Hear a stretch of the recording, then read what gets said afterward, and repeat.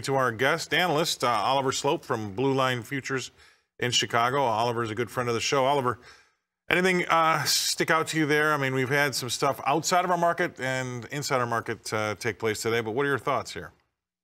Well, it, has been a pretty constructive week. You know, last week we got the USDA report, which was mostly bearish, and we were able to reject that bearish report, which gave us a little bit of relief rally here today. But now we're back to some of these big technical levels. And for December corn, that's 530 to 533. This was support back in July and August. And the breakdown point from September 1st, as well as a key Fibonacci retracement. So we wouldn't be surprised to see the relief rally stall out here as harvest starts to pick up a little bit more rapidly and we get some more harvest pressure.